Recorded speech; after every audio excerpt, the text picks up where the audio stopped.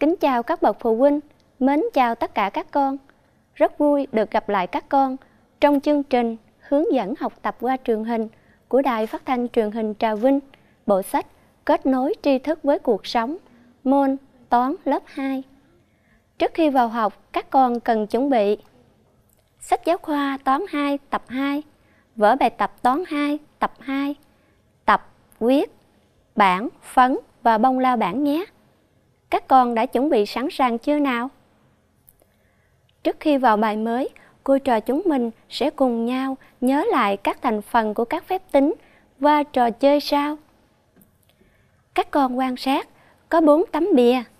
Dưới những tấm bìa này có gì bất ngờ? Cô trò mình cùng khám phá nhé. Để mở được những tấm bìa này, chúng ta phải trả lời được câu hỏi. Bây giờ cô trò mình bắt đầu nhé. Cô trò mình cùng mở tấm bìa đầu tiên, tấm bìa thật thà. Để xem có gì bất ngờ.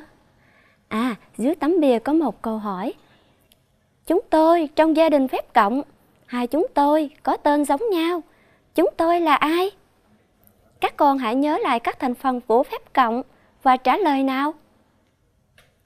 À, chúng tôi là số hạng. Thế là tấm bìa thật thà lại được mở ra. Cô trò mình tiếp tục mở tấm bìa khiêm tốn nào. Để mở được tấm bìa khiêm tốn, các con trả lời câu hỏi sau. Tôi là thành viên to nhất trong nhà phép cộng. Một mình tôi phải bằng hai thành viên khác gộp lại. Tôi là ai? Các con hãy nhớ lại nào. À, tôi là... Tôi chính là Tổng. Thế là... Bìa khiêm tốn lại được mở ra. Cô trò mình tiếp tục mở tấm bìa chăm chỉ nhé. Để mở được tấm bìa chăm chỉ, các con phải trả lời đúng câu hỏi. Tôi là một thành viên trong nhà phép trừ. Tất cả các thành viên khác đều nhỏ hơn tôi. Tôi là ai? Các con hãy nhớ lại các thành phần của phép trừ và trả lời nào. À, đó là số bị trừ. Thế là tấm bìa chăm chỉ lại được mở ra. Cô trò mình mở tấm bìa tiếp theo nhé. Để mở được tấm bìa đoàn kết, các con trả lời câu hỏi. Hai số nhân với nhau sẽ được tôi. Tôi là ai? Các con hãy nhớ lại các thành phần của phép nhân nào. À, tôi chính là tích đấy. Thế là tấm bìa cuối cùng lại được mở ra. Các con thân mến, thế là cô trò chúng mình vừa mở được 4 tấm bìa rồi. Các con đã nhớ lại được các thành phần của phép cộng, phép trừ và phép nhân. Hôm nay, cô trò chúng mình sẽ cùng nhau khám phá các thành phần của phép chia và bài hôm nay đó là bài 42. Số bị chia, số chia, thương. Qua bài này, chúng ta sẽ cùng nhận biết được số bị chia, số chia, thương trong phép chia và đó cũng cố ý nghĩa của phép chia. Các con hãy mở sách giáo khoa trang 18, 19 để cùng khám phá với cô nhé. Các con đã sẵn sàng chưa? Cô trò mình đi vào phần khám phá nhé. Các con quan sát. Có mấy bông hoa? À, có 10 bông hoa phải không nào? Bạn Nam chia đều 10 bông hoa vào hai lọ. Hỏi mỗi lọ có mấy bông hoa?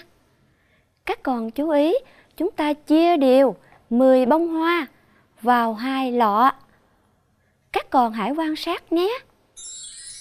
Vậy, để chia đều 10 bông hoa vào hai lọ, các con sẽ thực hiện phép tính gì nào? Các con đã làm quen với phép chia rồi phải không nào? Như vậy ta sẽ lấy 10 chia 2. Vậy 10 chia 2 bằng mấy nào? Đúng rồi, 10 chia 2 bằng 5. Cô và các con có thể trả lời ra. Mỗi lọ có 5 bông hoa. Các con quan sát phép tính. 10 chia 2 bằng 5. Cô sẽ giới thiệu với các con các thành phần của phép chia này. Các con quan sát. Số 10 đứng trước dấu chia, được gọi là số bị chia.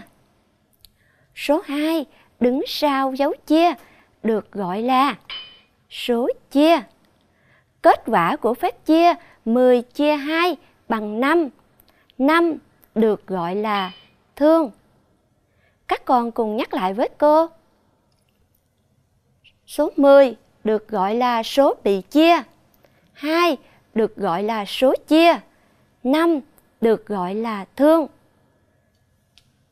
Kết quả của phép chia 10 chia 2 bằng 5.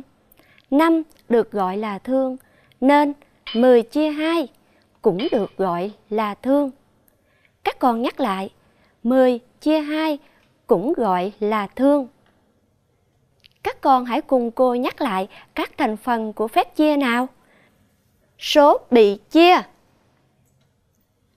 Số chia. Thương. Các con thân mến, cô trò mình vừa khám phá được số bị chia, số chia, thương. Bây giờ các con hãy nhớ và trả lời nhanh trong phép chia tiếp theo nhé. Các con quan sát. 15 chia 5 bằng 3. Trong phép tính này, số nào là số bị chia, số nào là số chia và số nào là thương. Ta thấy 15 là số bị chia. 5 là số chia. 3. Kết quả của phép chia gọi là thương. Chúng ta cùng nhắc lại. 15 là số bị chia, 5 là số chia, 3 kết quả gọi là thương. Các con quan sát, 3 gọi là thương, nên 15 chia 5 cũng gọi là thương. Các con nhắc lại, 15 chia 5 cũng gọi là thương. Thế là cô trò mình vừa làm ven được các thành phần của phép chia là số bị chia, số chia và thương. Bây giờ cô trò mình sẽ cùng nhau vận dụng vào làm các bài tập nhé. Đầu tiên, cô trò mình sẽ làm bài tập 1, số hỏi chấm. Các con quan sát, chúng ta có 4 hàng. Hàng phép chia, hàng số bị chia, hàng số chia và hàng thương. Ứng có các phép tính 12 chia 2 bằng 6, 20 chia 5 bằng 4, 16 chia 2 bằng 8, 15 chia 5 bằng 3. Vậy, nhiệm vụ của các con là phải xác định được số bị chia, số chia và thương để điền số vào dấu hỏi chấm nhé. Nào, cô trò mình cùng bắt đầu nhé. Các con quan sát phép tính đầu tiên. 12 chia 2 bằng 6. Vậy số bị chia là 12, số chia là 2, thương là 6. Ở các phép tính còn lại, các con hãy dùng bút chì ghi nhẹ nhàng vào sách giáo khoa nào.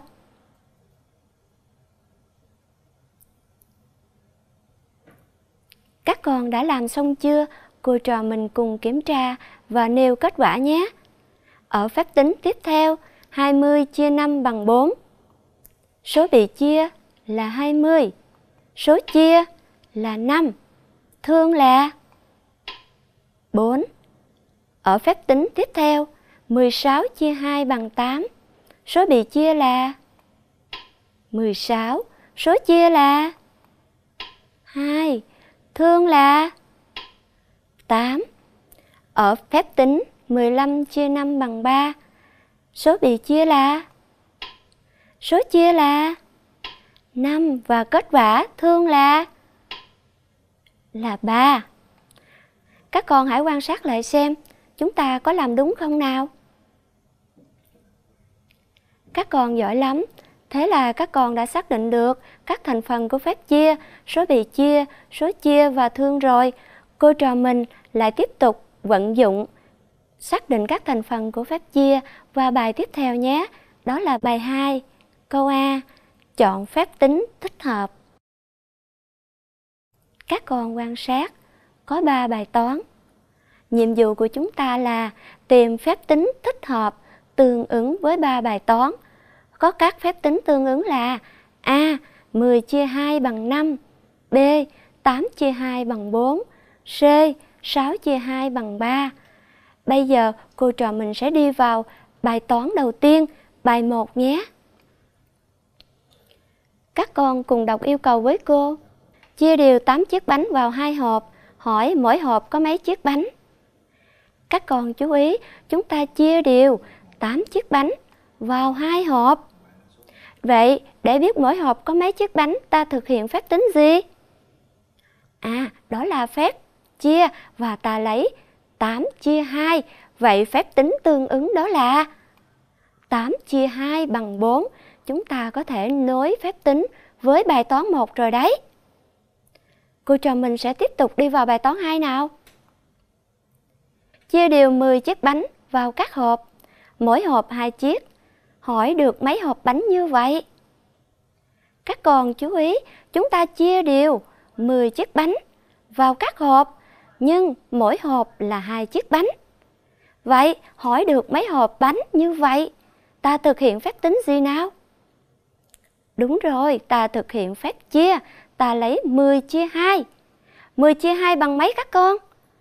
À, 10 chia 2 bằng 5, về phép tính tương ứng của chúng ta là À, chúng ta có thể nối phép tính A 10 chia 2 bằng 5 với bài toán 2 rồi đấy. Còn bài toán cuối cùng Chia 6 ve tính thành hai nhóm, hỏi mỗi nhóm được mấy ve tính. Các con chú ý, chúng ta chia 6 ve tính thành hai nhóm. Như vậy, hỏi mỗi nhóm được mấy ve tính, ta thực hiện phép gì nào? Đúng rồi, ta thực hiện phép tính chia, ta lấy 6 chia 2 và kết quả là 6 chia 2 bằng 3. Chúng ta sẽ nối bài toán tiếp theo với phép tính cuối cùng là C, 6 chia 2 bằng 3. Như vậy, các con đã xác định các phép tính tương ứng với từng bài toán rồi. Các con cùng đọc lại với cô nào. Phép tính A, 10 chia 2 bằng 5. Phép tính B, 8 chia 2 bằng 4, C 6 chia 2 bằng 3. Sau khi xác định được các phép tính rồi, cô trò chúng mình sẽ cùng nhau tiếp tục vào bài B nào.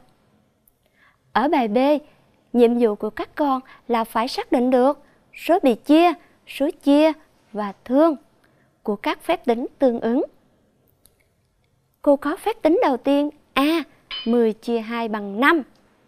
Vậy, các con hãy xác định xem số bị chia là mấy số chia là mấy và thương là mấy nào? À, số bị chia là 10, số chia là 2 và kết quả của phép chia thương là 5. Hai phép tính cuối cùng, các con hãy dùng bút chì ghi nhẹ nhàng kết quả vào sách giáo khoa nào.